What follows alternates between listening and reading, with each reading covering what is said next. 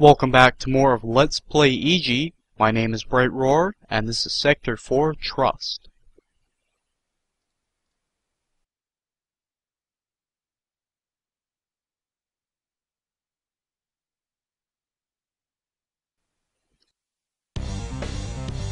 So a couple of tips from Dan there. But anyways, this is Sector 4 like I said, and it is all about the Tasen Shredder. Now what's the Tasen Shredder you might ask? Well, you're about to find out a lot sooner than you might expect. But first things first, we've got to clear out this room of Tasen. Gotta collect all that nano and ammunition, it's pretty important stuff.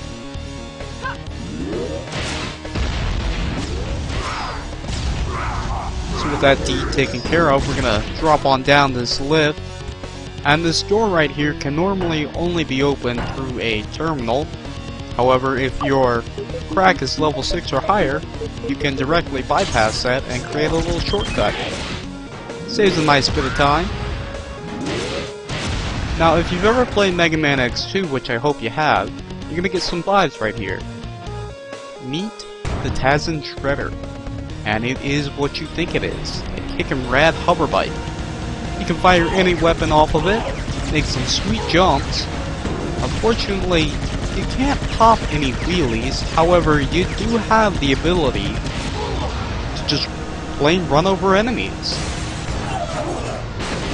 The Shredder is definitely one of my favorite things about the game. I think they're pretty cool, has a lot of variety, and it's generally just fun to dick around in. Unfortunately, this is one of the only Shredder battles in the game, if not the only. But we will be seeing the Shredder pop up about every two sectors, so you won't miss it. And of course, it's beautifully animated, extremely fluid. I could stare at that turning animation all day. Just so damn pretty.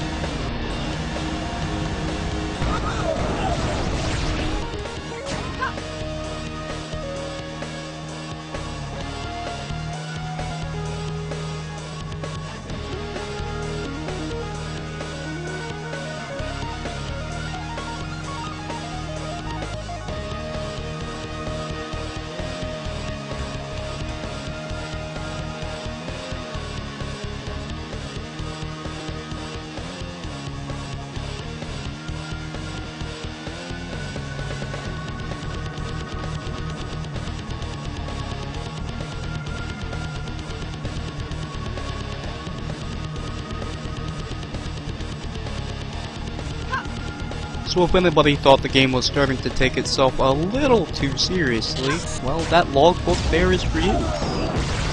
Now like Dan said, we've got to activate these two terminals to get past these locked doors. And we're going to collect a couple of goodies on our way. Of course, we're going to have to deal with this Tasen Elite first, and I honestly wish I had gone with a spread rocket instead. But I wanted to try and use my buster gun on him, and unfortunately, Up running out of ammo. And then blasting myself on my own rocket. Pretty big blunder right there. But that's okay, I'm just gonna keep on rolling.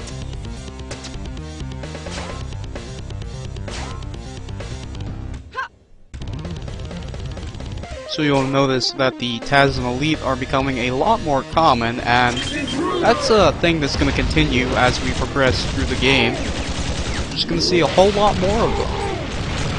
And of course, the general strategy remains the same. Just wail on them with whatever you got. Try and not, uh, let them attack you.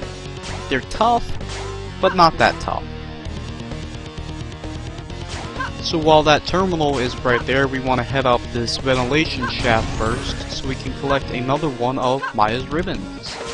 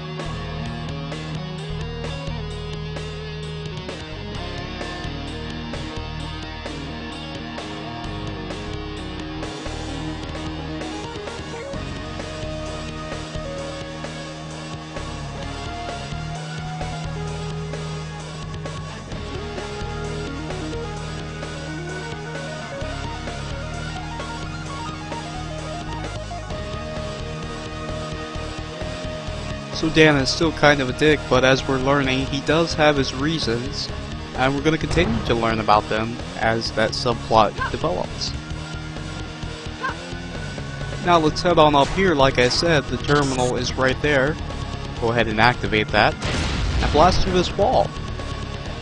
This leads us to some nano, and is the path to the supercharge. We've got to put our shredder skills to the test, which involves just holding the left button. And there's your supercharge. Pretty easy to collect.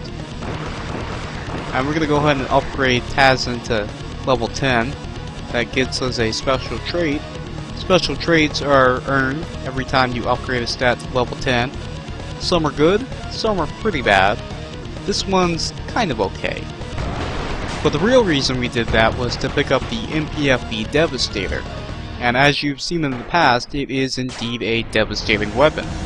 In fact, it's one of the best in the game. It's not quite game-breaking, but it's very close to it. And you're about to see it in action very shortly.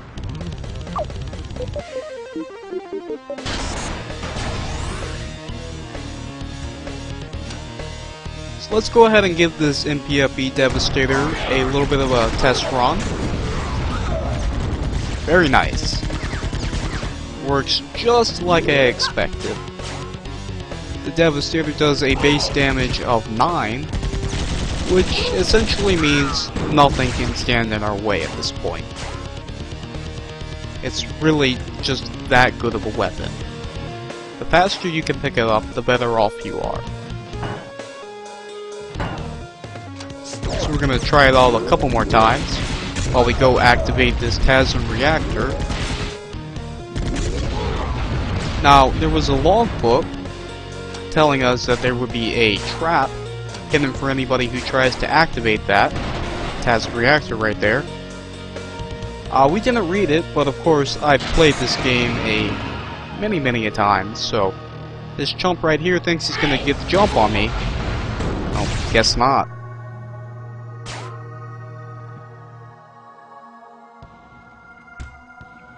So now that we have the Devastator, I'm going to start dropping points into Assimilate so we can start picking up more ammo. Getting a little scarce at this point.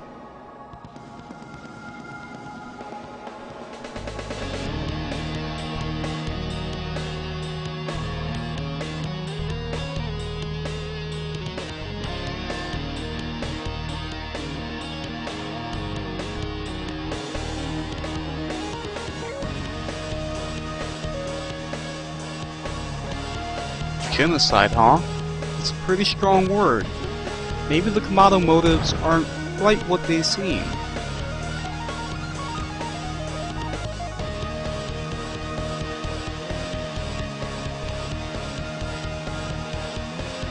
Of course, it's just door after door in Sector 4, but uh, the only thing standing here between us and the end of the sector are these three scouts. And of course they don't put up much resistance.